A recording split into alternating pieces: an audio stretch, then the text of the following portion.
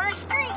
Laundromat. What's a laundromat? Laundromat is a place that you go take clothes so people could wash it. They have like big washing machines. Yeah. And you put your clothes in. It goes around and around and around. Round and around. Whoa. Then you take them out, you put them in the dryer, and then your clothes are done. Keep listening for the word laundromat